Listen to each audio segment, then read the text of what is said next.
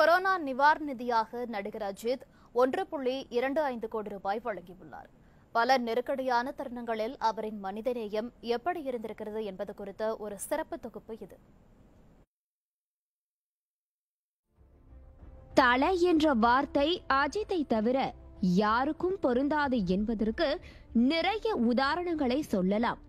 திரையில் ஒரு நடிகனுக்கு கிடைக்கும் வரவேற்பை தாண்டி தனி மனிதனாக அஜித்தை ரசிக்கும் ரசிகர்கள் ஏராளம்.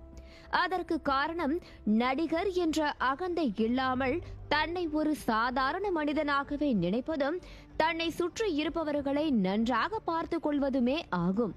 படப்பிடிப்பில் இருக்கும்போது படக்குழுவினருக்கு தான் கையாலே பிரியாணி சமைத்து கொடுப்பதில் துவங்கி தன் வீட்டு பணியாளர்களுக்கு வீடு கட்டி கொடுத்தது வரை அவர் வெளியில் தெரியாமல் செய்த உதவிகள் ஏராளம்.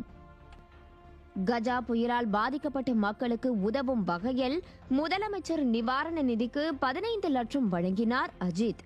திரைத்துறையில் பல உதவிகளை செய்து வரும் அஜித் விஸ்வாசம் படப்பிடிப்பின் போது விபத்தில் சிக்கி உயிரிழந்த துணை நடிகரின் சடலத்தை மும்பையில் இருந்து சென்னைக்கு கொண்டு வந்து இறுதி சடங்கிற்கு ஏற்பாடு செய்ததோடு நேரில் வந்தும் கலந்து கொண்டார்.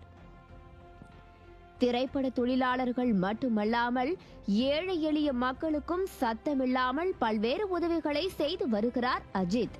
கடந்த ஆண்டு அண்ணா பல்கலைக்கழக மாணவர்களோடு இணைந்து அஜித் தயாரித்த ட்ரோன் இப்போது கொரோனா வைரஸை கட்டுப்படுத்த கிருமி நாசினி தெளிக்கும் பணியில் ஈடுபடுத்தப்பட்டுள்ளது.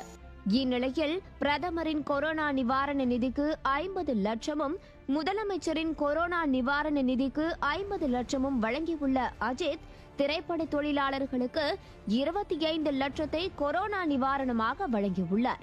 படக்குழுவினர் மற்றும் தனது பணியாளர்கள் ஆகியோரை தாண்டி அனைத்து தரப்பு மக்களுக்காகவும் மனிதநேயத்துடன் பல்வேறு உதவிகளை பேரிடர் காலங்களில் செய்து வருவதால்தான் ரசிகர்கள் அவரை தல என்று தலையில் வைத்து கொண்டாடுகின்றனர்.